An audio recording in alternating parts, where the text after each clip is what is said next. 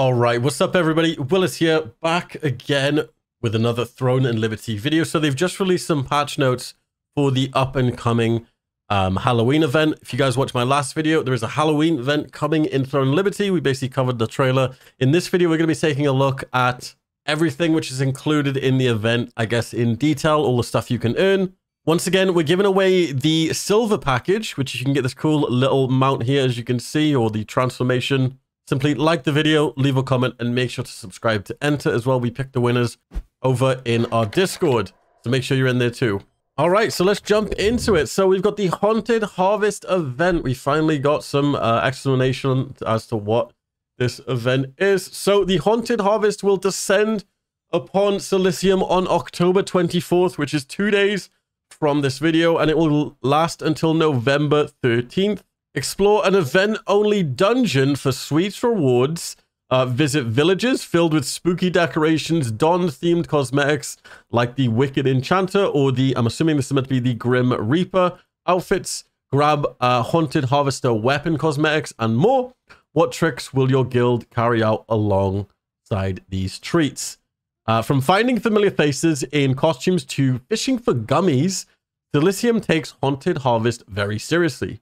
Candy corn is even used as event currency. Exchange your delectable treasures for unique rewards, including special consumables, and have a spooktacular time.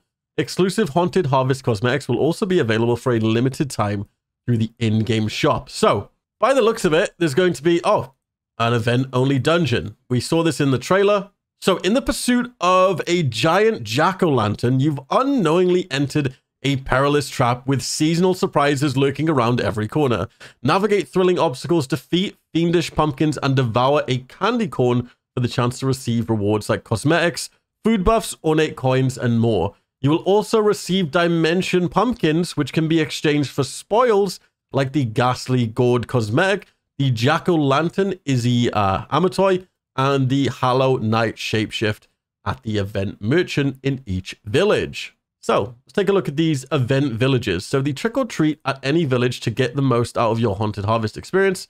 Um, beyond collecting candy corn from various activities, you'll also receive them as a daily login bonus. Don't eat or spend all your candy at once. Greet familiar friends in unique costumes around each village to receive candy corn. Search for characters with hidden haunted harvest forms at night, or morph into a playful ghost to identify them during the day for additional candy corn. Locate all three costume characters to receive the Phantom's Prank buff. This will give you increased Sollant gain and increased experience gain. You know what this kind of reminds me of? This reminds me of just like old school MMO events. Is that just me? Like, it's almost giving me like RuneScape, like Halloween time. Does anyone else feel that way? It's almost just like I'm excited to actually play an event in an MMO. Okay, so the Haunted Harvest influences Solisium in a fresh and unexpected ways. Scrumptious culinary creations are waiting to be crafted, while large bags of candy corn were accidentally lost amidst a few conquest battles. Rumor has it the candy ended up in the water and mutated some fish. Your favorite Amitoi can also enjoy the event through a limited time expedition bonus. Here's an overview of the festivities. So here we go. We've got a lot of stuff here which we're going to go over. So the catch event, only fish throughout Solisium for various 15 minute buffs, including um, the red gummy fish, the yellow gummy fish, and the blue gummy fish. You'll get increased movement speed, increased attack speed, um, the pumpkin taffy, which gives you increased boss hit rate, uh, damage boost against undead and demon enemies, uh, damage resistance against undead and demon enemies. You can also join your fellow adventurers and search for the wandering haunted harvest peddlers to purchase dimension pumpkins and other event specific rewards. Once you have the proper ingredients, you can cook the Haunted Harvest specialities for 15 minute buffs. You can craft the Spooky Pumpkin Pie, which give you increased mastery gain. Hey, this is pretty nice. And increased Abyss um, consumption efficiency. Also the Choco Spider Cookie, which gives you increased critical hit damage and increased critical uh, damage. And then finally, you can send your favorite Amitoi on expeditions for a chance at additional event rewards. The Amitoi has an icon on their head to indicate where they'll receive a boost. This boost increases the chance to obtain a special rewards from the Amitoi expedition. Um, the Halloween-themed armor toy, the Jack-O-Lantern Izzy and Hexbound Figment, will receive an increased chance of obtaining a special rewards enabled regardless of their expedition. Take down your favorite dungeon bosses during the event for a chance to receive additional cosmetics. Capture the charm of the Haunted Harvest with the Wicked Enchanter bundle. Grab the Grin Reaper outfit to embody the mischievous nature of the Haunted Harvest. And collect the evil Haunted Harvester's weapon cosmetics and more through this selection of limited time cosmetics. And here's a preview of the skins which you can earn.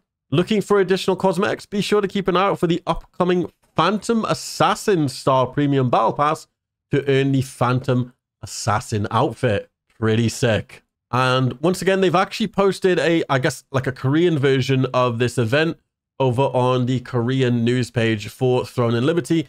It gives us a bit more insight on a lot of the stuff. I'm assuming it's exactly the same, but as you can see, um, find creepy villagers and get buffs. Someone said if you morph into a ghost, you can actually see them during the daytime. So that's one of the events. You basically have to find the spooky villagers on different appearances and talk to them. After talking to the creepy villager, find another type of creepy villager and talk to all type of villagers within three minutes. This looks like the sort of event you're meant to do in the town. And here we've got the um, the creepy looking pumpkin festival uh, merchant dude. He sells uh, chocolate, candy corn, and the dimensional pumpkins. The dimensional pumpkins are a coin that can be used to purchase from the pumpkin festival uh, event exchanger. And you can also be used as an event cooking ingredient. Now, this will only last two days and everything else. So the chocolate two days and then the candy corn is one day. So you do need to make sure you're being on and you're just using up the materials. So this um, event dungeon, they didn't really explain it that much on the, I guess the English version, but they sort of explained what this like pumpkin cart is. It's for the event dungeon and it's basically a means of movement in the dungeon. You need to use pumpkin fuel to get there safely and you need to protect your pumpkin carrying companion. This is where you put all the loot and it seems to go from point A to point B in the dungeon. I don't think you can actually drive it around. And then we've got this big, huge, uh, giant pumpkin, which we saw in the trailer. Uh, you must avoid the giant pumpkins running through the narrow passages. Be careful not to get crushed by the giant pumpkin. Looks like you need to hide in these like little corner bits. And then we've got what looks to be uh, the final boss, the Jack Pumpkin. If you can defeat Jack Pumpkin's terrifying attack, you can get the Dimensional Pumpkin, which I'm assuming is the thing everyone's going to be using, which is the sort of morph where it turns you into a pumpkin.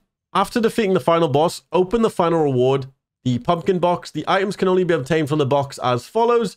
You must have candy corn in your possession to open the box. And yeah, it just looks like you get the dimensional pumpkins, the bundle of abundance, a package that allows you to obtain growth related items.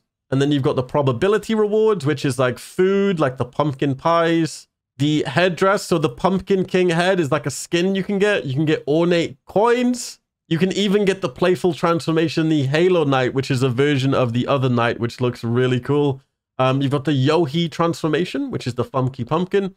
Um, I don't actually know the percent drop chances from these, but it looks like it comes from the boss. But yeah, the main goal of this event is to get those dimensional pumpkins and basically purchase um, items. It looks like you can also get extraction stones, um, these special stones as well, which are super, super handy. The pumpkin heads, the little armor toy pets, you can get so much stuff. It's actually really cool. And then you've obviously got the, the fishing and stuff, which gives you the movement speed buffs, the attack speed buffs. Um, even the pumpkin candy cop, which gives you huge, like boss, just hit damage and stuff. And then finishing up, you've got the, the new armor toy. You've got the pumpkin, the little creepy doll, and then you've got the ghost. And it says everything apart in the event is in a non-tradable form. Some of the event schedule rewards may change depending on internal circumstances. So yeah, they could either cut it short or maybe even delay it if stuff goes wrong.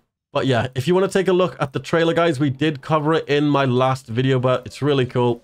Just shows off the event dungeon, that big pumpkin that we saw that comes flying around the corner. Um, it even does give you a little sneak peek at the Jack Lantern boss, which is the, obviously the main thing that people are going to be killing to get the uh, the skins. Um, fishing and stuff, obviously for the food buffs, the cooking for the food buffs. You've got this event here, which is obviously them finding the, uh, I guess, the haunted villagers. You need to go around and find three different haunted villagers. Once you find all three, you get some special rewards. And yeah, I'm super hyped for the event. Cannot wait. Um, yeah, if you guys enjoyed the video, be sure to leave a like. Make sure to subscribe for a chance to win that silver edition of the game. It comes with probably a skin which most people don't have, which is the fluffy Almaraz little bunny rabbit. 2,800 lucent. You can't really miss out. Just like the video, leave a comment, make sure to subscribe. Come and join the Discord if you're not already. We do some bonus giveaways over there as well. But yeah, Halloween event is soon, guys. Glad they finally give us some information on what's happening. And yeah, I'll see you guys in the game, hopefully, and in my next video. Peace, guys.